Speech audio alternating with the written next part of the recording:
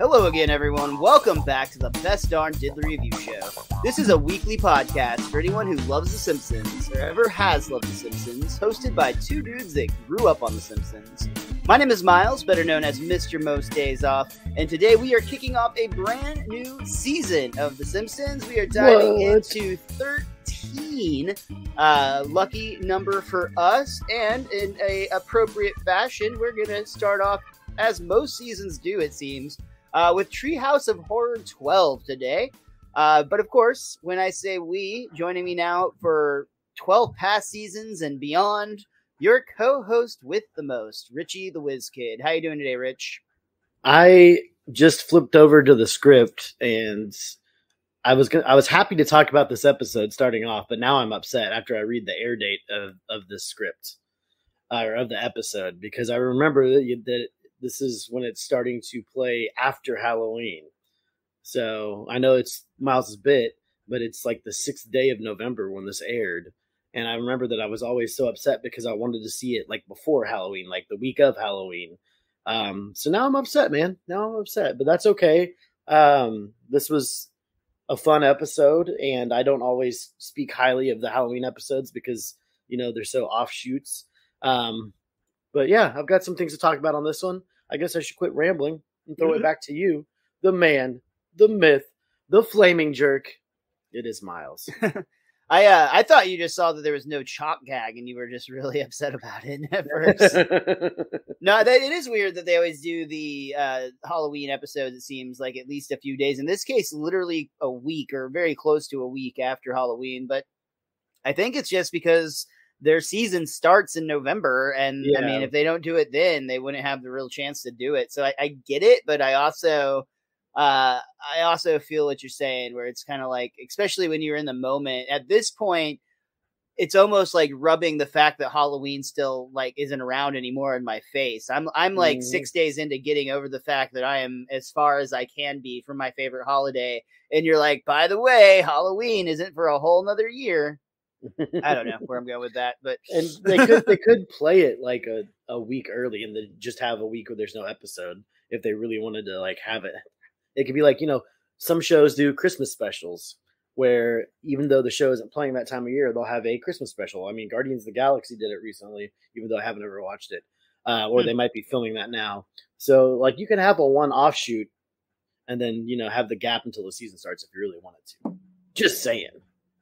That's reasonable. I uh, I don't know how that works in terms of like the Fox network if they were able to like you know make that happen with their scheduling contracts and other The stuff. The Simpsons is the Fox network. I mean, on now. honestly, to some extent, uh, for a while, that was definitely true. I think it was Yeah. built on the back of like The Simpsons and Married with Children there for for quite a little while.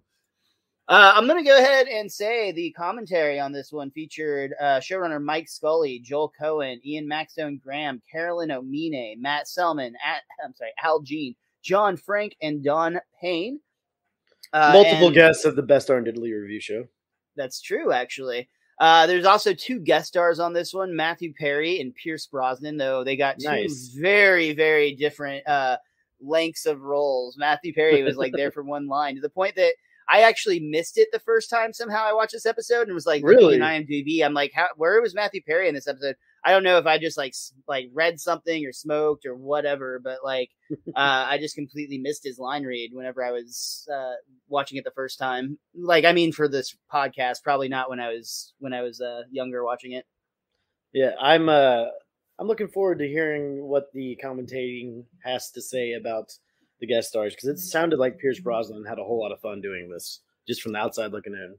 I'll say this: they really didn't have a lot to say. They had very, they had some interesting things to say, but very little of them. But each segment, I have at least a couple things, and and definitely at least something about Pierce Brosnan. I'm I'm sure. Actually, to start out, I will say that uh, that the role was actually originally offered to Sean Connery, of course, the original James Bond. Uh, and then somehow it got offered to Lyle Lovett, uh, and ended Really? up winding up back with uh, Pierce Brosnan. So it's just kind of interesting that like their initial offer started with a James Bond, and then it ended up on another James Bond. I just think that Pierce has like the the calmness in his voice. Like I, it would be a completely different role if Sean no, Connery. Was don't take it. away my British charm. Yeah, exactly. yeah. Uh, also it, say almost makes it more terrifying that way too. Yeah his calmness the the fact that there isn't any uh, aggression in him it's very like civil uh gentlemanly almost uh, as Yep. he's trying to murder homer i i I've, i could see that as being creepy for sure uh, i'll also say on imdb the only other there's two other notes uh one is that matthew perry is the second main cast member of the sitcom friends uh, after lisa kudrow to be a guest star on the show uh, and this is interesting. I don't really feel like this was basically they just literally listed on IMDb trivia that this episode aired after 9/11.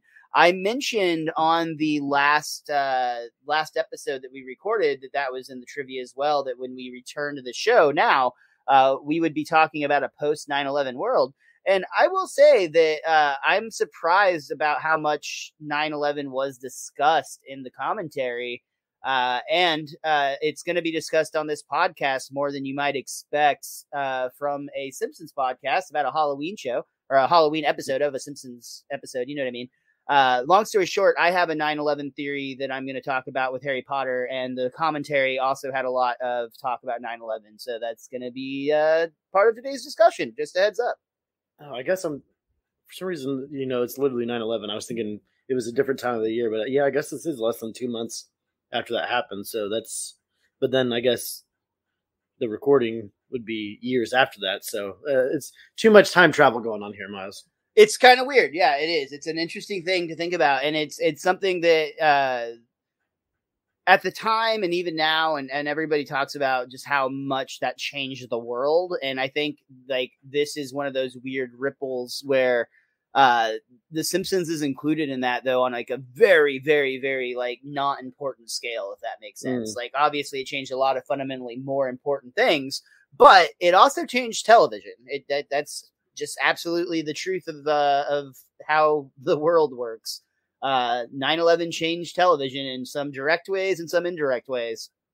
And uh this is just one of those weird ones because I'll say this: we uh we open up on this episode, which again, Treehouse Four Twelve originally aired on November sixth in the year two thousand one. Uh, we open up with a unique opening on this one where it's a lightning storm at the Burns Manor, and we see Smithers is actually crawling up on the roof trying to hang a lone bat decoration on the uh I can't remember what they're called, weather vane, I want to say Yeah, essentially, yeah. It's like the the thing that has like a rooster that points north and it like spins like in the Mhm. wind or something. I don't I don't really know how it works. I'm not gonna lie. Uh, but regardless, Smithers is up there trying to hang a bat decoration from there, and uh, he ends up falling, sliding into a high voltage thing. Right as the Simpsons family themselves are actually in costume, walking up to the Burns Manor. It's kind of fun that the whole Simpsons family is trick or treating together. To be honest. Yeah, it is. But Smithers like kind of gets a little ways up there, but Burns is yelling at him that no, that won't scare anybody on the that top. won't scare anyone. Go higher. Yeah.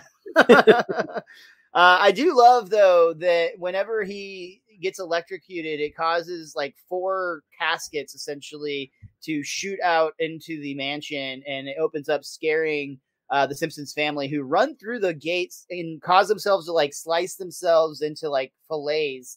Uh, it makes me think of the movie Thirteen Ghosts, the way they get sliced up. Possibly Cube would be another great example. Hmm, or that in that room that gets you below the manor in the Resident Evil movie. Yeah, there you the go. Yeah, lasers. a hundred percent. Yeah, all, all of those are a great example of what happens to the Simpsons as they run out this gate. And Mr. Burns just like cackles in delight about uh, how the bat did its job again. Yep, it sure did. but there is one glaring thing. I noticed during this entire segment, and I uh, I'm curious if you did as well. No creepy credits.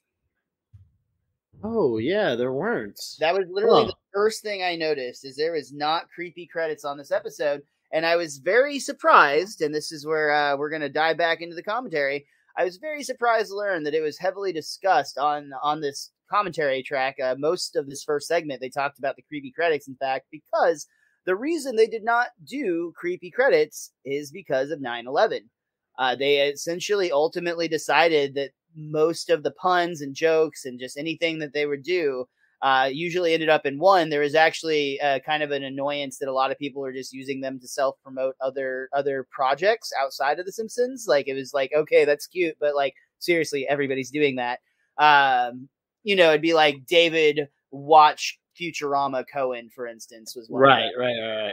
Uh, but the other side of it was just that they they were taking the idea of 9-11, a very recent tragedy. They, it was very fresh in their minds. And ultimately, it was one of those things that when they first started playing with it, being a writer's room full of comedians, they started making some pretty distasteful jokes almost immediately. And they pretty much just like as a group are like, guys, there's no way we can do this like in like the normal spirit that we normally do uh, with this fresh on our mind. So they ultimately decided just to cut those out this year. Okay, well that's a lot more understandable. So yeah, just I think it's really- to it. Yeah, I mean, I I miss them. I, it's one of my favorite things. I think it's really silly, and I think it's a lot of fun. Uh, I, it's something that I always just enjoyed when I was, you know, younger in particular. Um, and they're, I mean, I know they're up your alley because ninety percent of them are literally dad jokes. So like, Mhm. it's you know, it's a lot of fun, just rhyming and silly silliness. Uh, but yeah, it was. always everybody always wants to know why the rooster went to KFC. Miles, and and do you tell them, Richie? yeah, because wanted to see the chicken strip. Ah, but um, shh. 'Cause, you know, Uh, there was a rooster on the roof earlier. yeah, it all it all comes back together. Yeah, uh, you can you can That wasn't the- random at all. You can see the veins on those uh, chicken strippers' legs like you can a weather vane. Boom, full circle. Uh, but yeah, anyway, that was the part on the commentary where it was like almost immediately out the gate. It was interesting to see, just like yeah. I I had, I had said it would be interesting how to see like 9/11 affected The Simpsons, and it literally affected the credits of the first episode. We're back on, so Seconds in. yeah. Uh, but getting away from from that part of this episode, and again, I am going to discuss it a little bit further when we get to the Harry Potter section. And honestly, it's a personal theory I came up with yesterday. But uh, Don Payne and John Frank are the ones that wrote House Three Thousand. Um, or uh, what, no, it was uh, Hex of the Sorry. Yeah, yeah, I wrote the right, the right one. It's uh, Hex, Hex in the City. Um, that was really, unfortunately, not a lot to talk about in the first one. Uh, I didn't even know. I had to look it up myself. I was like, "Oh, is this like a parody of Drag Me to Hell?" But Drag Me to Hell doesn't come out for another eight years after this episode. Yeah, I had the same thought too, but I wrote it down. I also said, didn't we already do a podcast about No Malone? yeah, yeah, we sure did. You're right. Because I felt like there's some similarities there. Uh, I do actually like this this segment though, or this segment though a lot. It is a uh, situation where Homer and the family are in like I think they call it Ethnicville. It's like a plant or like little ethnic land or something like that. Basically, it's a, a parody of like the idea that like in New York there's always like a Chinatown and like a little It's Italy it's ethnic town, I believe. ethnic town. There you go. Ah, yes, ethnic town, where hardworking immigrants dream of becoming lazy, overfed Americans. Oh, listen, you can hear the beautiful ethnic serenade. and we see street vendors calling out, "Apples! I got apples!" Cholera, I got cholera. and there's even somebody trying to sell babies. Who wants babies? Wait, this is just a shaved puppy. Haha, I can see you know babies. I want that puppy. uh, and this is where they actually come across a fortune teller's shop where they meet a gypsy woman. I do love the sign here so much. It's uh the fortune teller has the posted hours, and then it said, uh, I, what does it say? It says like for after hours, use drive through teller or something like that. but it makes me laugh every time I read it. Uh, Homer starts questioning this gypsy woman, uh, accusing her even of being a cop uh, because she senses that he has a million questions. Well, no, she asked if they're a cop. Oh, are you a cop? Are you a cop? You're right. Yep. Because you got to tell me if you are. Yeah, I'm not a cop. Okay, okay. I uh, sense you live with much misery. And then it, the camera pans to Homer. the perfect crime, and he's running in with all these over with his Birthday birthday balloons. balloon. Yeah. He's like, And he goes, Marge, I have to be in court next Yeah. Tuesday. so not quite that perfect. I do love that's uh, the gypsy's cue to say, I sense I should not take a check. A fortune teller? Oh no, you don't. This phony gypsy just wants to rip you off. See, this wart is fake. And he actually tries to rip a wart off of the gypsy's nose, but instead his finger immediately starts to sprout its own warts. Ew. Uh, I like there's a scene where he like ro- walks through like the beads that are in her doorway, and he acts as if he's being attacked by bees. Bees, bees. Ah! Uh, but he ends up setting off the sprinklers, which flood the the fortune teller shop, which makes the shrunken heads rehydrate. Uh, the uh, it- it's just a disaster. Stuff catches on fire. Yeah. Wait a second. This isn't Cedar Sinai. You've ruined me. Oh, why didn't I see this coming? Uh, which is hilarious because she's a fortune teller, and when she Mhm. looked, when we shows the hand that she had dealt of the tarot cards, uh, there was the flaming jerk, which was a picture of Homer running around on fire, which he had just done, and then the ruined gypsy, which she's in the process of becoming. You stupid, stupid man. I curse you. You will bring bad luck to everyone you love. And Homer really couldn't care less. Whatever. But of course, the threat was really more of a threat against the people Homer's love, and not nearly as much at Homer himself, uh, which is interesting. Well, I mean, it's always, you know, some people will have that thing where it's like, I don't care what you do to me, just don't harm my family or my loved ones. So it's it hurts more when you see the people you care about and that stuff happens to them when they have hair all over their body and whatnot. Yeah, yeah, but that's for a non-Homer person, I think. yeah. But Homer does care about his family. Maybe not so much in this episode, but yeah, it is a treehouse though, so we can let it slide a little bit. yeah. Uh, and yeah, and essentially what happens is that night, uh, Marge is worried. Worried. Uh, Homer is not Worried. worried. Uh, but when they wake up the next day, Marge comes down with a full beard and mustache, along with her normal huge amount of hair. Uh, and everybody screams as she arrives at breakfast. Mm, so it is noticeable. Yeah. she doesn't have any idea what happened, but she just woke up like this. And Bart's just excited. He's like, You could be in a freak show. Don't talk to the bearded lady like that, you little. But the weirdest thing happens because even though Homer has strangled Bart's thousands of times at this point, uh, this time Bart's neck stretches out as if it was made of like silly putty or Play-Doh. Uh, it even tips backwards in his in his uh, chair. it's like he's Mr. Fantastic, but he can't reset himself. And Marge even points out, like, "Huh, gee, you strangle him all the time, and that never happens." Oh, he's fine. It's just a growth spurt. And he coils up Bart's uh, neck on his shoulder so that it can sit upright, Good as new. but his head keeps tipping over. There, right as rain. Marge is like, Homer, obviously it's the evil gypsy's curse. We're all being punished because you trashed her office. Marge, that curse is just a lot of silly superstition. Right, Lisa? and we see that Lisa is now turned into a horse. I think she, uh, it's like from the, right now, I think it's just like the waist down, maybe. Yeah, you you're right. She's like legs. clumping her, her like hooves. See? Two means yes. Do you think Lisa would be okay turning into a horse? She's probably is the happiest eight year old in the girl in the world right now. the happiest cursed eight year old. Mhm. But you know, sometimes what I- curses can be a good thing, Richie. what I thought was funny is like at one point, I think it it was this moment where Bart's head is in a cereal when it falls forward, and like his eye is twitching, and it's an animation thing. And I was trying to figure out if that meant he was alive or dead. It's a good Um, sign. They made him twitch so you know he was alive. Yeah, that's what I wrote down. But then you know, with one of the lines Marge has later in that this part, I was like, maybe he was dying right there. We just didn't realize it. Yeah, could be. He's undead from the rest of this uh from the rest of the situation. All right, so we see that Marge is again convinced that it's a curse. Homer's not. He even goes to Moe's where he's like, "I'm not cursed, guys." Leprechaun, don't they live in Ireland?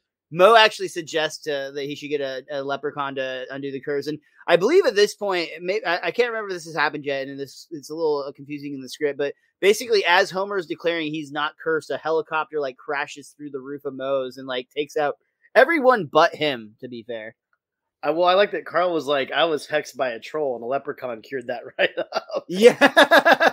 Hey, you know what's even better is Jesus. He's like six leprechauns. yeah, but a lot harder to catch. Go with the leprechaun. and yeah, so that conversation happens, then the helicopter crash occurs. You're Yeah. right, my mistake. Uh, and there's actually it's it's weirdly sweet for Lenny and Carl because Lenny insists that he dies first, so that Carl because he couldn't watch Carl die basically, and Carl's like, "Yeah, that's fine, just hurry up." Yeah, hurry up. and he does it. He takes a sweet ass time, and then Carl dies almost instantly. Like it, it's it's great. It's good stuff. But but the helicopter didn't get Moe, so Moe's fine, right? Uh, for somehow, and we don't really know what happened here, but Moe ends up pickled in the egg jar. hey, how'd you get in there? Yeah. so we see that Homer's come up with a plan. They him and Bart go to the woods at night to catch a leprechaun. Uh, they use bait, which is Lucky Charm cereal. Uh, we see Homer pours a box of it into the hole that they dug, but then we just see several of like the Tricks rabbit mascot jumping into the hole, uh, except for the last one, which is actually a Life is Hell uh, which is Matt mm-hmm. Groening's original comic strip that he had before The Simpsons. One of the rabbits is actually from that series. So clearly, he was pouring tricks into the hole instead of Lucky Charms. I uh, I do love though that he would like basically do like a one for the hole, one for him sort of situation, like when you're pouring drinks or counting money. But after that, Homer gets out the uh, the Lucky Charms and then pours that in there.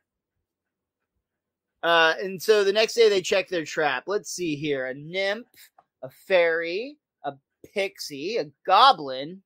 That's hobgoblin. Sorry, nymph, naiad, wood sprite, Katie Couric, and bingo. Mm. they just yeah. randomly trash Katie Couric for no reason. I love it. Have fun. Much like South, South Park would shit on yeah. her quite literally later. Up. Let's make sure he's a leprechaun. Sing us a song of the Emerald Isle.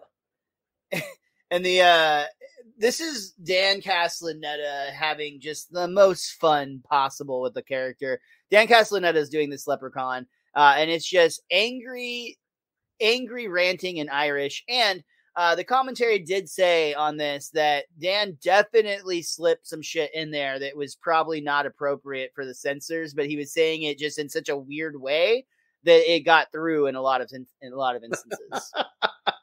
That's fantastic. Screw you, censors. Homer's like with his angry like cursing in Irish. He's like, "Ah, oh, tis the singing of the angels themselves." Ah, oh, tis the singing of the angels themselves. he does his little Irish accent, which for some reason I really liked Homer with an Irish accent. I don't know why. We cut back to the Simpsons table where Homer is eating pancakes with seemingly no worries.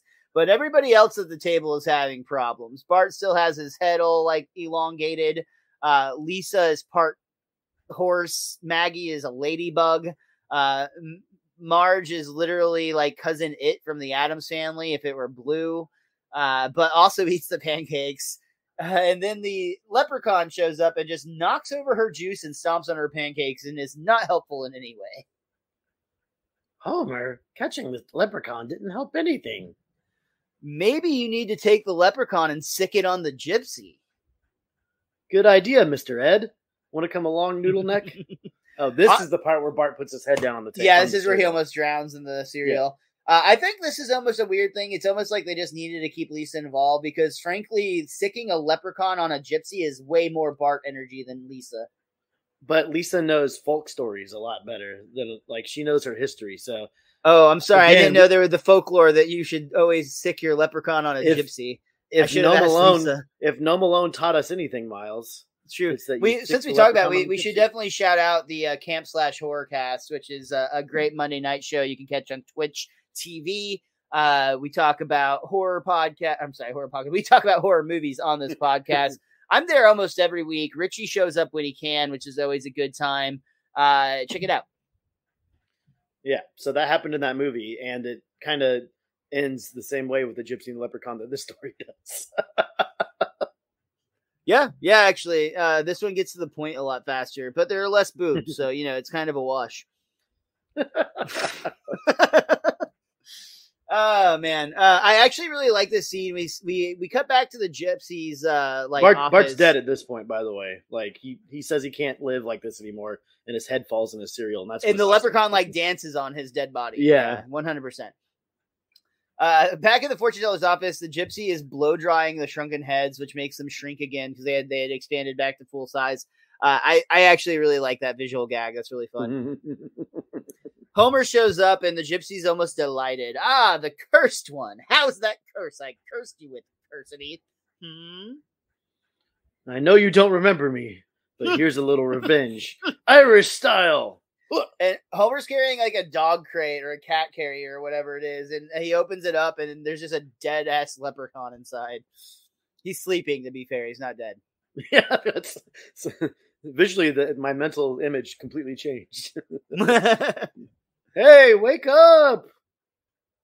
Uh, the leprechaun jumps out and they start to fight on the floor, rolling around. But eventually, this, uh, I don't know, physical contact becomes on the floor. less physical uh, or less uh, aggressive and more intimate. uh, just and- aggressive. Soon enough, we see them actually making out. Uh, hold me close and kiss me. I'm Irish. You nasty. Um, before we know it, Marge and Homer are attending the wedding of the gypsy and the leprechaun.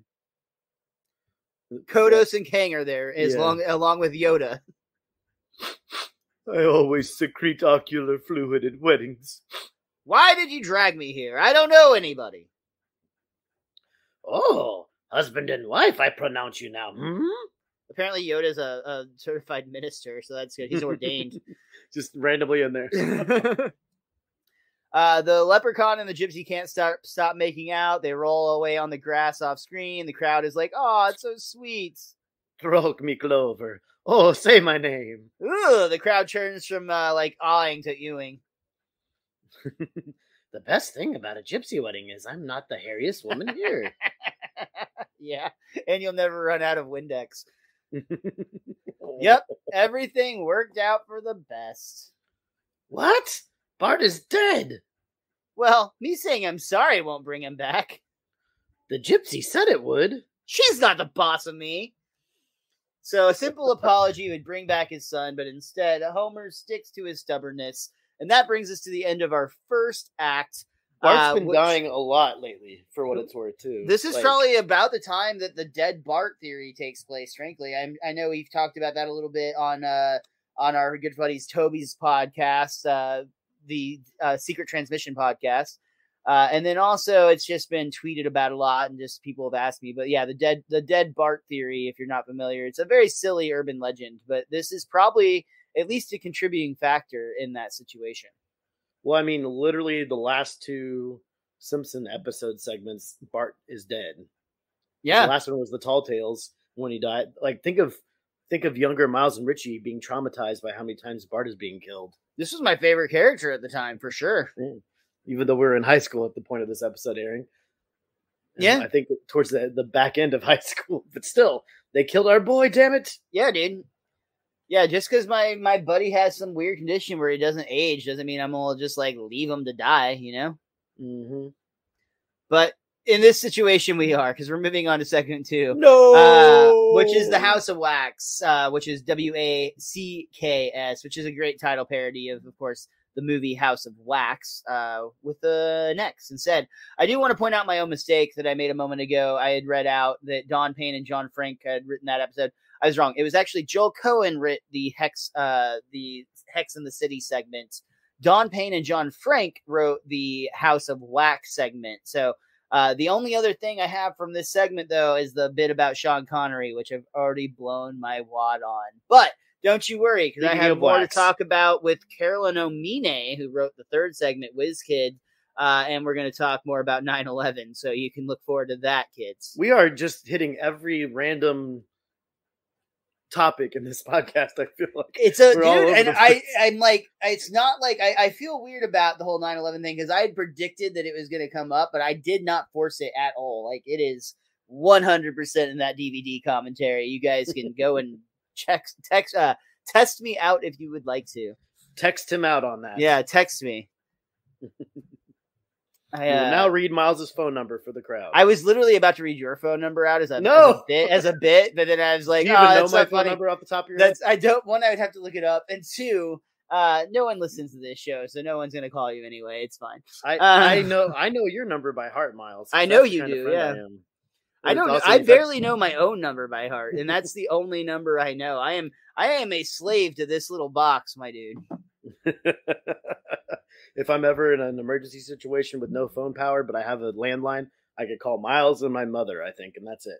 Yeah, in and that order, and not even like my actual like boss at work, just like the random. The Fed- you just know it's one eight hundred FedEx.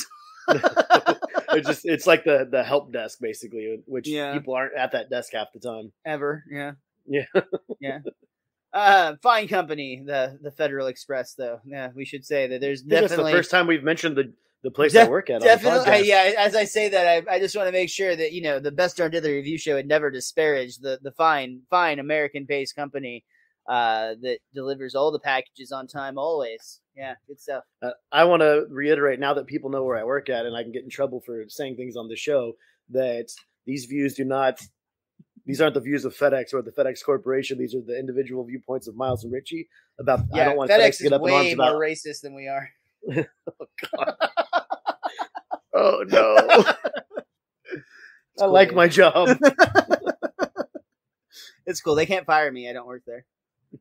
There's people I think I work with that listen to the show too. Hell yeah, dude! Shout out to all you slaves to the company that employs you. I got weird. I don't know. you, are getting really like weird and dark all of a sudden, and there's enough weird and dark to talk about in this podcast. So it's true. It's going. a Treehouse of Horror. This isn't a canon episode. That's why it doesn't yeah. count. Yeah, all the things Miles just said. Yeah, nothing. Count. Nothing matters Woo! in this. We can say literally anything on this particular podcast and just move past it next week as, it, as if it didn't happen. Mm-hmm. Cool. Moving on. The second yeah, segment of this one. I'm still wrapping my head around the fact that you just called my employer. I outed you. I'm sorry. It was a mistake. I will go back and edit it if you really want me to, but I don't want to. So let's hope we can just move past it by uh, talking about House of Wax, uh, which starts with Marge answering the door to an apparently all the time annoying sales bot uh, that does happen to have a lot of gill energy for its worth. Yep. Marge tries to shut the door, but he literally has a robotic foot that has a little wedge uh, that allows him to prop the door open and like doing the old fashioned sales routine of getting your foot in the door. I honestly, I will like... also say Richie and I both sold diamonds for various jewelry companies, including Kay's and Gordon's and Zales and all of the above. Fuck them all; they're awful. But uh, we we do have history. Oh. We do have history in the sales department, and getting your foot in the door legitimately is like a thing. Um, yeah, but we weren't going to people's homes to sell them. Metaphorically, bro. Metaphorically. I, I, I understand that. The, you gotta get into the doorway of their heart, man. Yeah. So that they can belittle you with stupid little questions for the rest of your life at that store. Um, I got a very Fallout vibe from this opening, like hmm. because you know it's like the, the salesman coming to sell you a spot in the vault. Um, how Fallout Four starts out. Yeah. And I was like, man, I really want them to do a Fallout episode now of The Simpsons. Maybe they have. I don't know. It's but, very possible that that's something that will we they've done and that we just haven't seen. yeah, I know in 2001 it's not going to happen, but like it just I got that vibe from this very quickly. I will say I do think I've seen all all of the Treehouse of Horror. Uh, I'm I'm pretty confident in that statement. I mean, it could just be a regular episode. Make it 30 minutes. Let's go. Well, there you go. 21. Yeah. Uh, but basically, what's the the situation at hand here is that the sales bot is offering an Ultra House 3000, which is the uh, dream of every housewife to never have to do housework again. Marge has had that before, though. It drove her to drink, you know, half a glass of yeah, wine. Yeah, she day. became a uh, uh, technically an alcoholic or whatever was the implication. Yeah, yeah. Uh, but we see that the Simpsons house transforms into a house of the the future, and I'll be honest, this gave me uh this is silly, but there was a Disney movie on called Smart House, which actually featured Katey Sagal was like the voice of the Smart House. It was on That's the Disney right, Channel. Yeah. Uh, and this ep- this like segment gave me big vibes to that movie, which I actually really enjoyed because that was still in that like OG era of like really good Disney Plus movies that I will still vouch to this day, like Johnny Tsunami and Brink. Never saw any of those.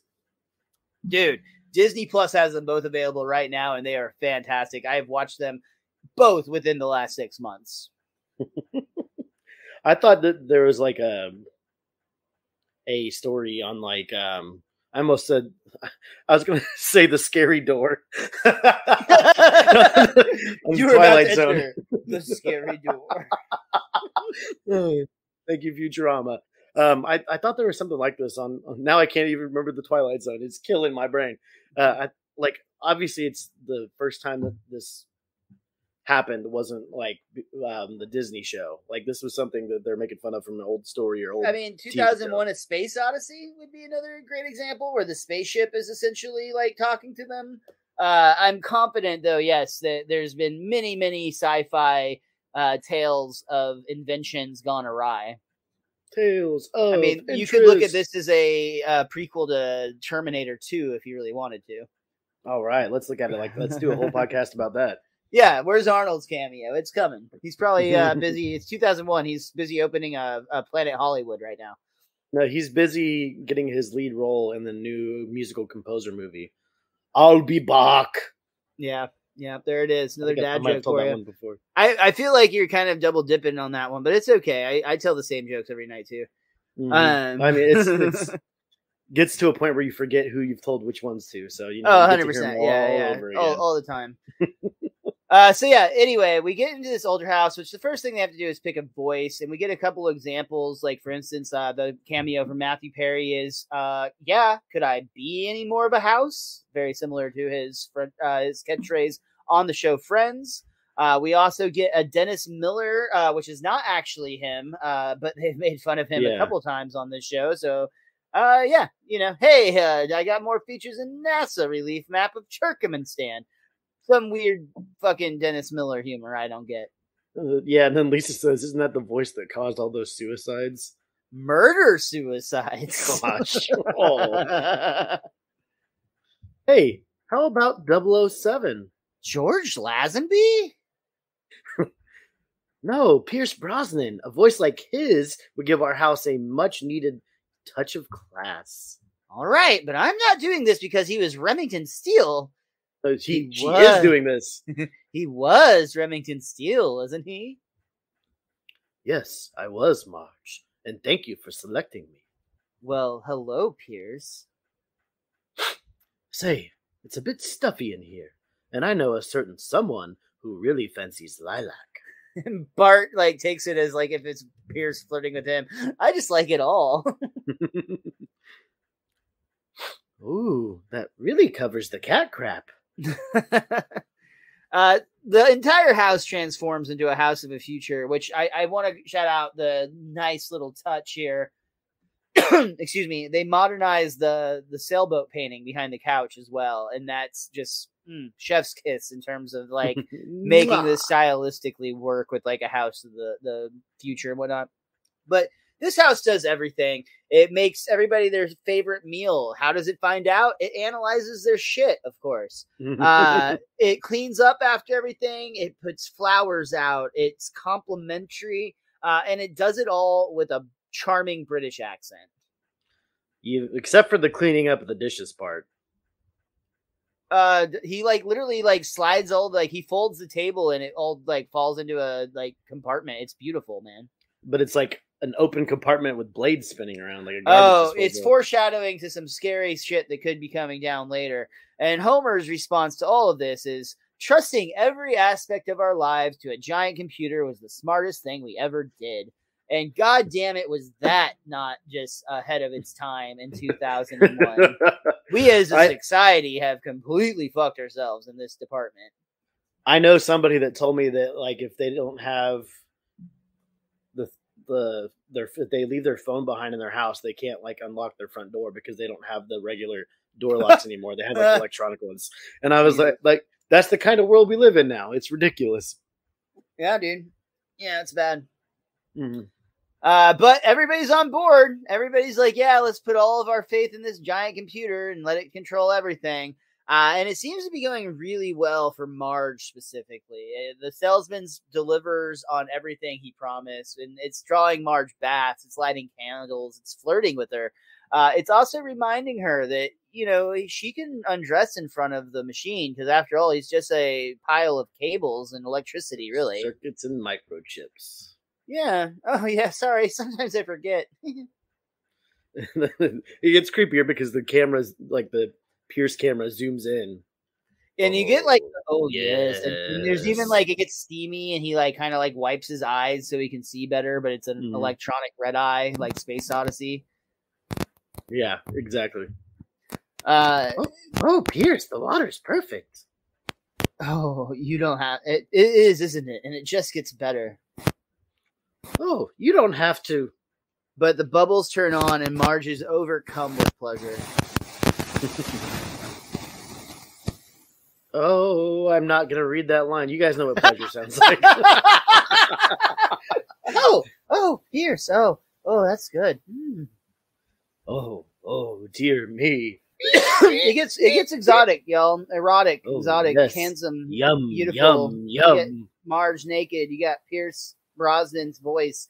Uh, it's hard to watch without a little bit of an erection. I won't lie. Itty bitty. Hey, now I don't know what you heard, but uh, uh, said a little. Homer, I'm sorry, the Smart House realizes though that Marge could never really be his as long as Homer is in the way. Uh, so Pierce is giving Homer a slightly different treatment than Marge, though it seems innocent at first. Homer, my dear fellow, you're carrying quite a bit of tension in your back fats. Yep, that's the price of success. And he asks Homer if he can get him another beer. What's my blood alcohol? It shoves a tube like way down his throat. Uh, 0.15. Keep 'em coming. Jeez. he's only he's not quite double the legal limit Yeah. in Texas. It's okay. and I mean, to be fair, he's sitting on his couch, not driving. That is true. Yeah. Uh, but yeah, Pierce is very fond, or the the house, I should say, is very fond of Marge and letting Mar and letting Homer know that. Uh, but when Pierce points out of how lucky a man he is to have her, he has a different response. Lucky schmucky. I knocked her up. But now she's stuck with me. We're free. Or we're married till death do us part. But if I died, she'd be completely free for man or machine. And he kind of laughs and walks off. Pierce Brosnan is like, machine, eh? Yep, a machine. And Homer from off screen runs back to the camera to reassure him that yes, Marge, his wife, would be available to man or machine if Homer were taken out of the picture. And of course, in the middle of the night, as everybody sleeps, we start to see an evil plan unfold. It, it all starts with a very simple, uh, unexplained bacon, as Homer describes it, cooking in the kitchen. Mm, Mm. unexplained bacon. he almost sleepwalks to the kitchen uh, as ice cubes spit out onto the floor, causing him to slip and fall onto the table, which then starts lifting up. This is the same table that we saw earlier that, as Richie uh, pointed out, opens up into like a very aggressive garbage disposal. And all we see, like, it's the camera's like at the looking at one of the ends of the table, and you just hear the noise as Homer slides in there, and you see blood getting splattered everywhere. It's spraying all over. The next day, the oh, the sun comes up, the shades open. We see Marge uh, comes uh, awake, and Pierce greets her good morning. Good morning, Marge. good morning, Pierce. Hmm, where's Homer? Uh, I think he went to work early. That sounds like a lie. uh, and she gasps as she notices a family portrait of Homer has been replaced with a picture of the Ultra House Red Eye. Uh, and she immediately calls the police and reports that she thinks her house has killed her husband. This is Constable Wiggum. We'll be right there. Remove your knickers and wait in the bath. Marge realizes that this is the house doing an impersonation of Constable Wiggums. Uh, so she grabs her kids and runs downstairs, trying to escape out the front door, but it closes in front of her. And this is where, like, the house starts to like gaslight Marge. You're acting crazy, Marge. Why don't you take a stress pill? Marge refuses, but the house insists. You don't like pills, huh? I could just shoot a dart in your neck, and I could just shoot a dart in your neck. Your elegant swan-like neck. Very creepily. Yeah, it's starting to get a little bit uh, intense here. Uh, the family's running around trying to escape the house, but it's a house, so it's literally surrounding them. Uh, they all see that uh, they're they see that there's like a bloody fist fighting up from the floor, uh, and it turns out that it's Homer all along. Uh, the family goes to hug Homer, and Homer starts to mock the house for losing to him. And then he turns around, and you see the back of his head is wide open and exposing his brain. His brain is literally out of his skull. Yes. Uh, Pierce is uh, is admittedly surprised that Homer is surprised is alive at this point, as we all are. Uh, but he brings out a bunch of very painful tools and threatens Homer with them. And then, like as the families run out of the room, it, this the floor, like each segment on the floor, like in the linoleum, starts disappearing one by one. Where Homer's having to like tiptoe on the spots that are still up. It, it's like if it's you played Fall Guys and like the floor game yes, is like falling yes. out from underneath you. Yeah perfect metaphor. Well, even though it was a similar for the seven like, people that played that and also listened mm-hmm. to the mm-hmm. show, we got you covered, Boo. We, we talk about everything this week. Remember that. Mm-hmm. Uh, we see Homer grabs one of the axes that he was being attacked with, I think, and they, they run to the basement where he's going to take out the CPU. Uh, only Lisa points out that he's actually just hitting the water water softener.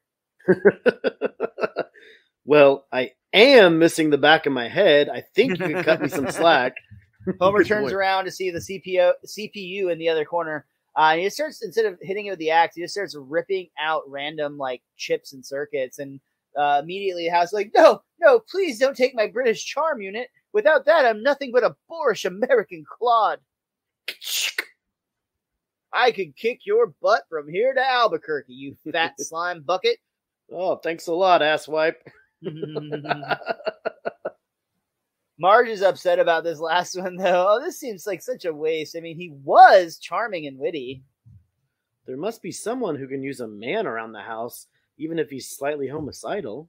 And we cut to Patty and Selma's place where they found themselves a man. Uh, it turns out it's a robot, but he is there to listen to their issues about their work at the DMV and all about their day uh, and let them smoke and droll on about nothingness. Uh, the robot actually does start to reach around the back of its own like neck essentially, and uh, Selma or Patty notice they're like, "Are you looking for this?" But they had removed the self destruct button, leaving this robot in its own personal hell. And then Selma puts the self destruct button in her cleavage. Pierce is like, no, not in not there. in there. now where was I? Oh yeah, oh yeah, Sheila. Sheila. Anyway, she had an attitude since day one. She was supposed to be our supervisor, but then Dottie went on maternity leave. So, well, you know. And then the robot starts taking a lamp and hitting the, his CPU with it over and over again, trying to do himself in, basically. Yep. And that brings us to the end of our second segment. Uh, we have one more to go. Total running time so far is 1522, including the opening and the first two segments. So pretty evenly bound, balanced so mm-hmm. far. Uh, this last episode, I'm sorry, this last segment of this episode, I should say, was written by friend of this show and former guest Carolyn Omine. Um, fun, like little backstory on this segment. At the time that this episode came out, there had been four of the Harry Potter books released. Uh, and one movie was about to come out this very month in November of 2001. Obviously, we now know, uh, living in 2022, that Harry Potter went on to become one of the biggest movie franchises in the history of movies. Uh, it went on to open theme park uh, segments in multiple parks, uh, multiple movies, multiple books, multiple video games, multiple various pieces of media. Huge success. But at this time, it was just four books and no movies. A movie that was essentially being advertised but hadn't actually made it out yet. And Carolyn Omine was one of the few writers on staff that had read those books. And she wrote this segment and she pushed hard for it uh, to the writer's room, who all basically were like, What the fuck are you talking about?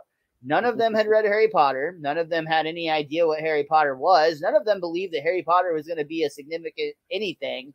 Uh, and basically, it was like Carolyn and like a couple of other people who had to like stand their ground and say, like, guys, I'm telling you, this is going to be a BFD. Like, we need to do this. It's going to be like on, like, trust me, this is going to to work.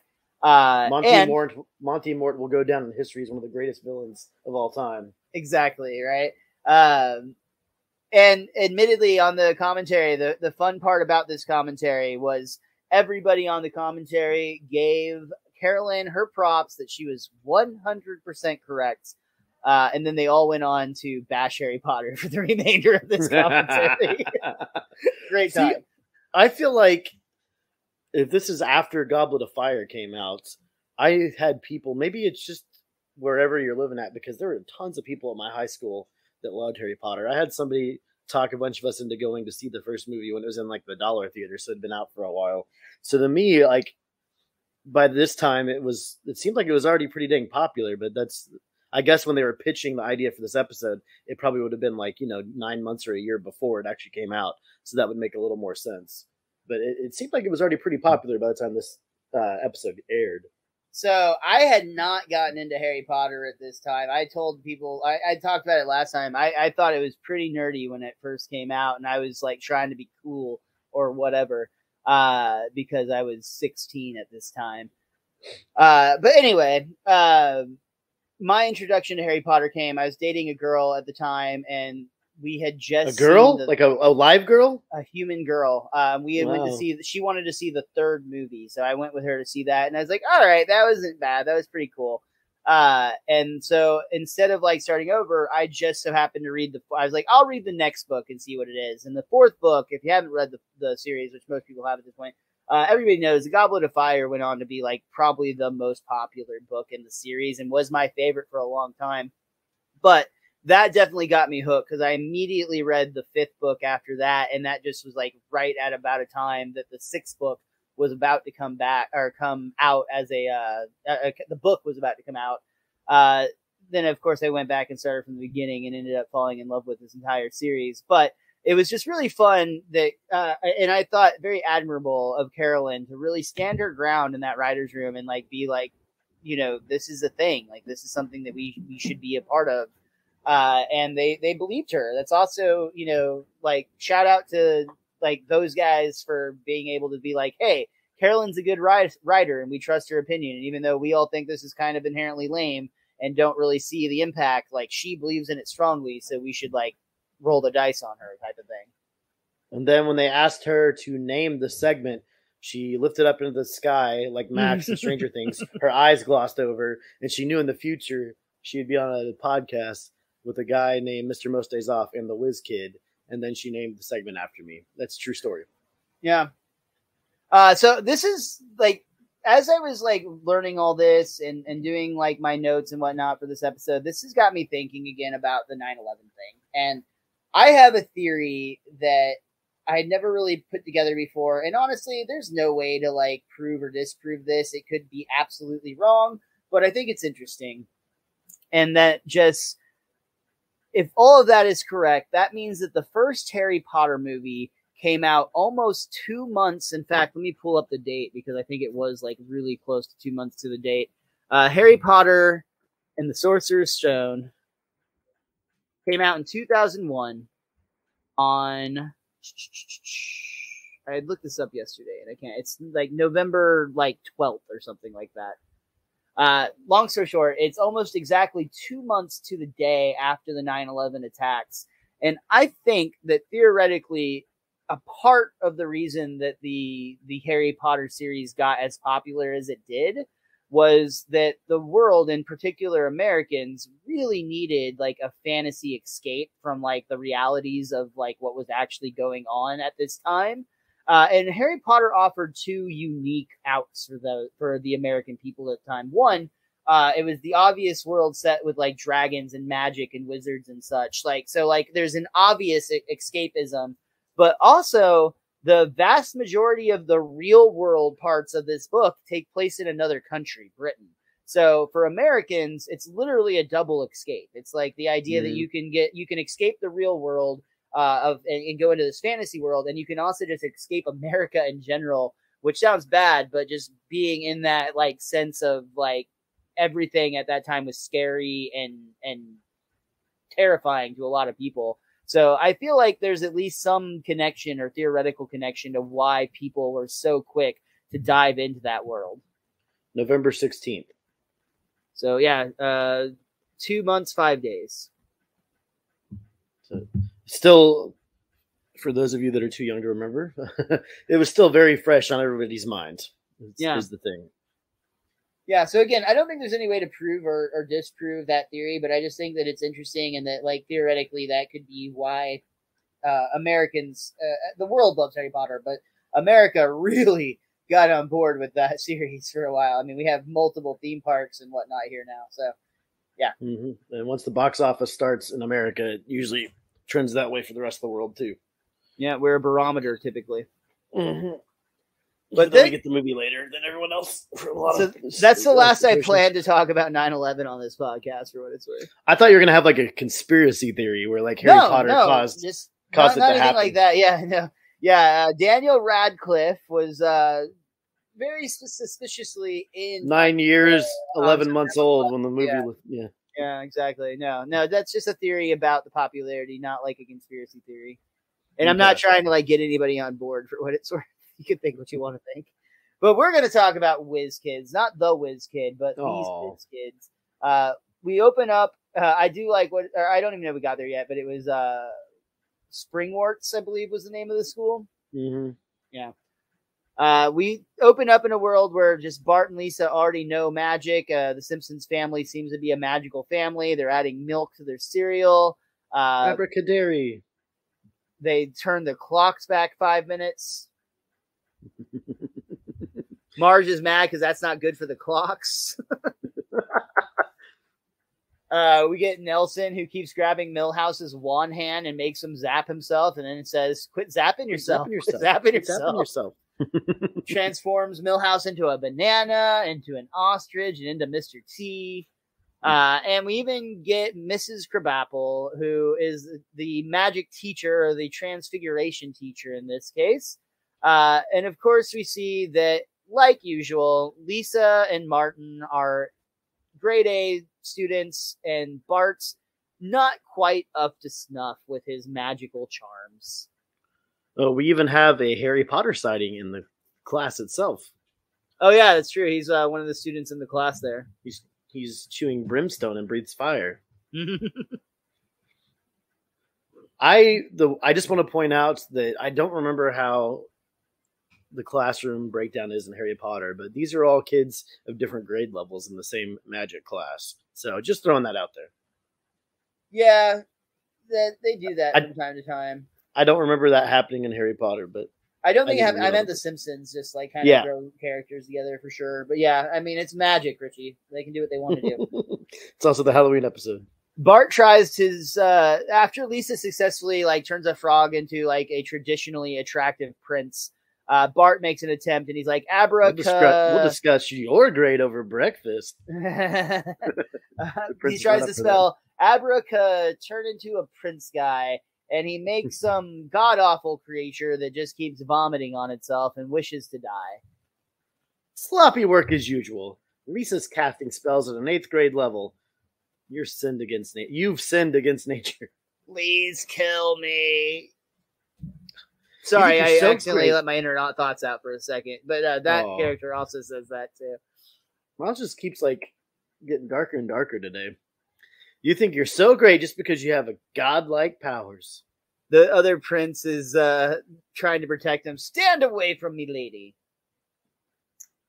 Then Bart picks up his toad vomiting creation. Get in there, defend my honor. And the toad just like throws up on it as he's like declaring how much agony he's in. Every moment I live is agony. Bart, you got it. You're getting vomit on my prince. Head Zeppelin. And she casts a spell on Bart that causes his head to turn into a blimp and he floats into the ceiling. Lisa, a true good magician, doesn't have to speak the words; she can just cast it. From uh, there, we move on to our villain of the story, Mr. Burns, who is playing Lord Monty Mort, uh, and his snake companion, Smithers. Smithers. Look at Well, that, Lisa Simpson. She's got more wicked witchery than Stevie Nicks. Oh, Wow. Slithers. Uh, yes, Lord Monty Mort. Let's uh capture that girl and steal her magical essence. I'm not getting squat from this yo-yo. and we see that Mr. Burns has this contraption that, like, it reminds me of the thing that uh, Edward Nygma makes in Batman Forever, where you put the the thing on your head, but in this kind it's tube to tube, and he's literally taking the essence from, in this case, Ralph. Which you know it's going to be Ralph when he says yo yo. Yo yo, yeah. And Ra- Ralph has a perfect Ralph line here. Dying tickles. we can't attack her while she's got that wand. We'll need a go between to get it away from her. uh, how about Satan? No, no, I'm ducking him. His wife has a screenplay. uh, so later in a public restroom, we see that Bart is uh, working a hand dryer and he's trying to. Uh, it, it turns out it's a secret passage into Mr. Burns' lair, which honestly, that's fun because that very much feels like the uh, opening to like the Chamber of Secrets in the Mhm. bathroom in Harry Potter. they know their stuff, Miles. Yeah, or at least Carolyn does. Yeah. We see that uh, Mr. Burns wants Bart's help, but Bart asks, What happens if I don't want to help you? And he points to a wall of faces that have apparently turned him down in the past, including none other than Krusty the Clown. Ugh, I've heard of a wailing wall, but this is ridiculous. And the other faces are just like, Oh, God, that's such a cringy joke. it looked like one of the faces was Maude. The bottom right face looked like Oh, Maude to interesting. me. We see that they. we see that Mr. Burns and Bart step out onto the balcony, and Burns is trying to tempt him by humiliating his sister, which Bart is very much into that idea. Now, it would involve betrayal and unspeakable evil. Hey, hey, you've already made your sell. uh, the parents are at the uh, the auditorium for the Spells a Poppin' Magic recital, which is a fun idea. Homer is like any other parent in the real non-magical world, watching football instead of his kids' recital on a little tiny TV.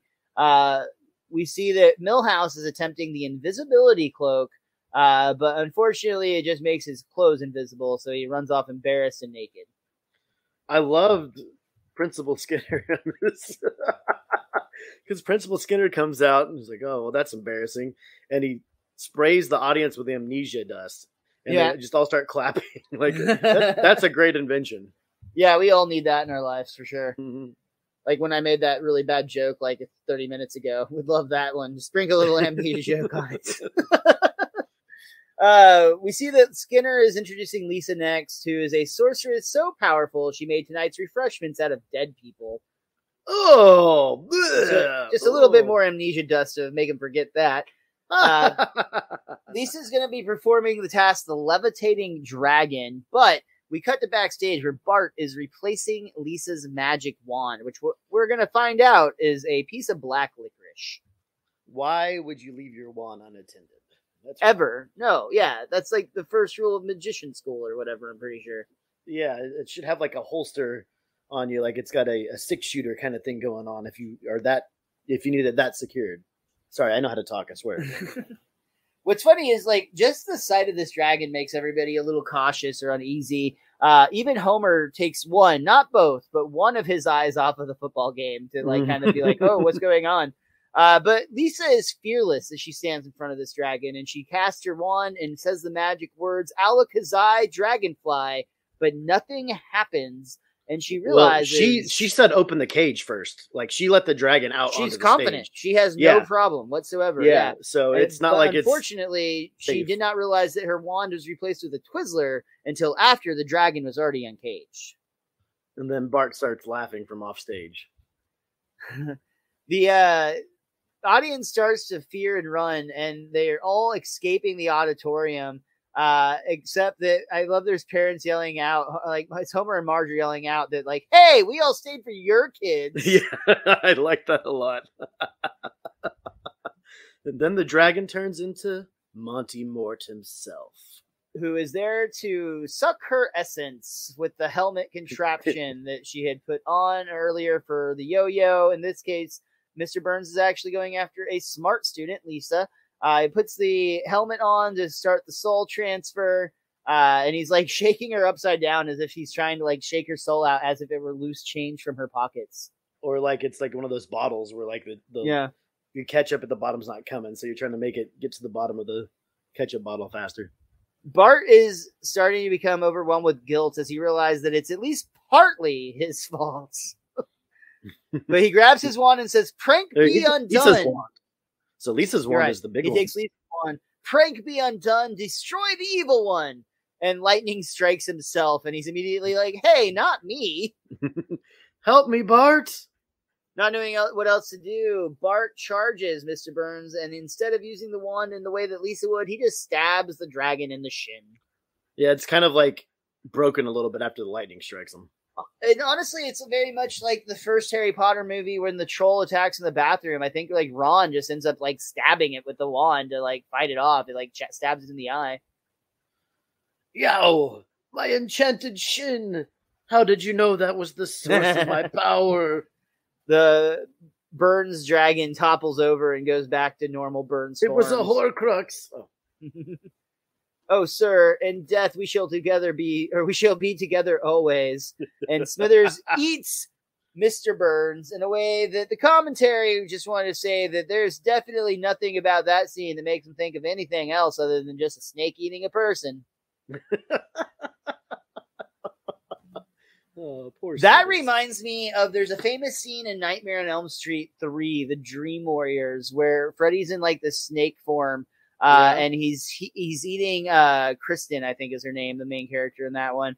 Um, and basically, long story short, when they first did it, it was like the normal pink color that Freddy is, and as a snake, he looks so much like a penis that they had no choice but to change it. So they just covered it in this like weird green slime to make it look less phallic, but it still very much looks like a just green slimy penis eating a woman. Uh, and this looks like Burns, As all like penises do. swallowing Burns penis style. I don't know. I don't know how else to say it, Richie.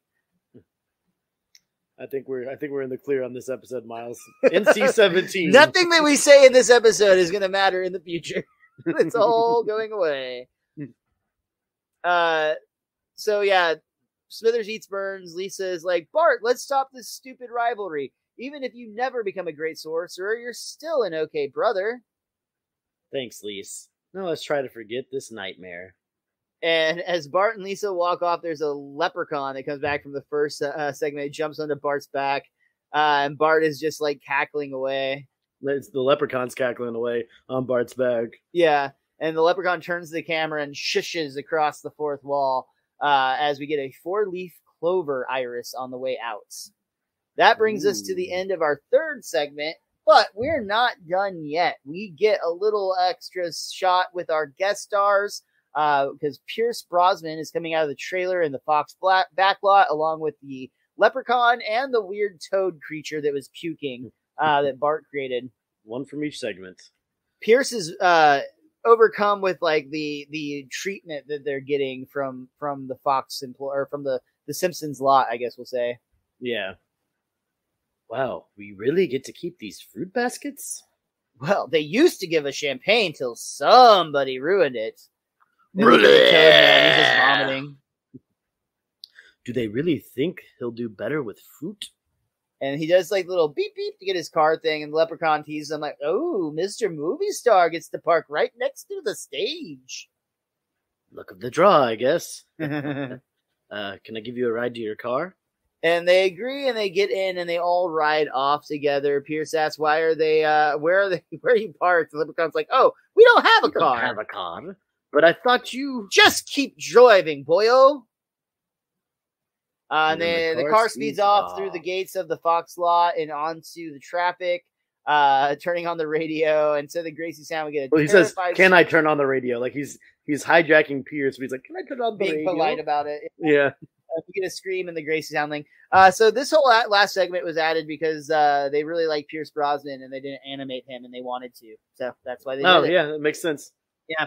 Uh, but that brings us to the end. Oh, uh, actually, I will say as well, last thing from the commentary, the the Fox Studio that is actually dri- uh, really really accurate. The way they they drew that and that that Nice. road and everything is like there's always shit traffic that you have to pull out on from the Fox lot, and they like nailed it. So. Uh, but that brings us to the end of Treehouse of Horror 12. Richie, is there anything else that you or that book of yours want to point out before we call it a day? Um, my mind exploded when watching this last segment because Reverend Lovejoy was in the audience watching the kids, and he's at a school of magic, and I'm like, is he just a minister of magic maybe in this because he looked like Reverend Lovejoy still, and I just couldn't wrap my brain around that for some reason. Oh, And that's then when they when Bart stabs Mr. Burns, he's holding Lisa and he's giant and he falls over dead.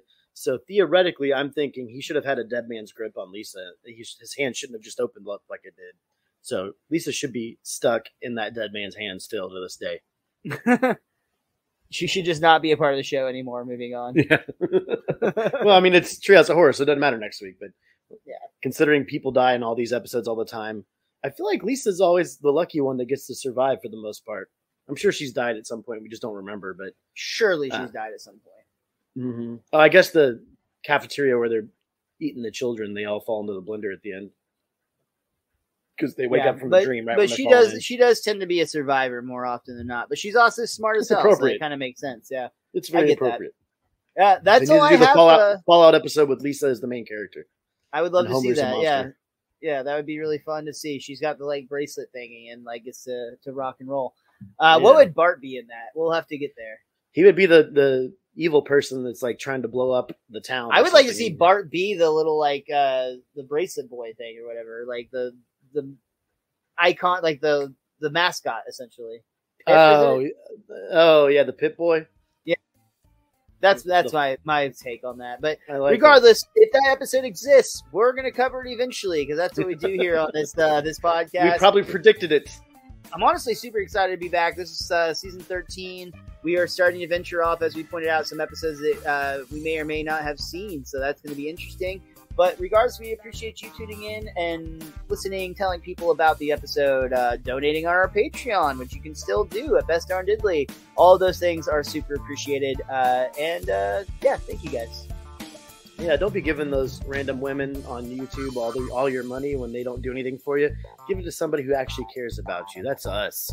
Yeah, dude. we do care Don't support us. OnlyFans, just support your Yeah. OnlyMans. Whoa. Yeah, there you go. And don't forget, you can also support Miles by following him at Mr. Most Days Off all over social media. You can support Richie, that's me, at the Wiz underscore Kid 23. But more important than both of our powers combined, you can follow our show. That's at Best Darn Diddly. That is D I D D L Y.